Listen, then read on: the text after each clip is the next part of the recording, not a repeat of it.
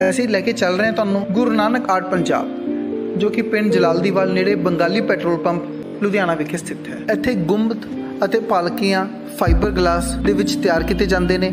ਇੱਥੇ ਘੋੜੇ, ਸ਼ੇਰ, ਦੇਵੀ ਦੇਵਤੇ, ਸਿੰਘ ਸ਼ਹੀਦ ਆਦਿ ਹਰ ਤਰ੍ਹਾਂ ਦੇ ਬੁੱਤ ਫਾਈਬਰ ਗਲਾਸ ਵਿੱਚ ਤਿਆਰ ਕੀਤੇ ਜਾਂਦੇ ਨੇ। ਗੁਰੂ ਨਾਨਕ ਆਰਟ ਪੰਜਾਬ ਪੂਰੇ ਪੰਜਾਬ ਵਿੱਚ ਹੀ ਨਹੀਂ, ਬਲਕਿ ਵਿਦੇਸ਼ ਵਿੱਚ ਵੀ ਬ੍ਰਾਂਡ ਬਣ ਚੁੱਕਾ ਹੈ। ਪੰਜਾਬ ਇੰਡੀਆ ਤੋਂ ਨਹੀਂ, ਬਲਕਿ ਫੋਰਨ ਤੋਂ ਵੀ ਗੁਰੂ ਨਾਨਕ ਆਰਟ ਪੰਜਾਬ ਵਿਖੇ ਆਰਡਰ ਆਉਂਦੇ ਨੇ। ਅਤੇ ਗੁਰੂ ਨਾਨਕ ਆਰਟ ਪੰਜਾਬ ਵੱਲੋਂ ਬਹੁਤ ਹੀ ਵੱਧ ਚੜ ਕੇ ਆਪਣੀ ਸੇਵਾਵਾਂ ਦਿੱਤੀਆਂ ਜਾ ਰਹੀਆਂ ਨੇ। ਸਾਈਟ ਇਨਮੇ ਤੋਂ ਦੇ ਓਨਰ ਨਾਲ ਗੱਲਬਾਤ ਕੀਤੀ, ਜਿਨ੍ਹਾਂ ਨੇ ਸਾਨੂੰ ਗੁਰੂ ਨਾਨਕ ਆਰਟ ਪੰਜਾਬ ਬਾਰੇ ਵਿਸਥਾਰ ਨਾਲ ਜਾਣਕਾਰੀ ਆਓ ਚੱਲਦੇ ਹਾਂ ਗੁਰੂ ਨਾਨਕ ਆਰਟ ਪੰਜਾਬ, ਪਿੰਡ ਜਲਾਲਦੀਵਾਲ, ਲੁਧਿਆਣਾ।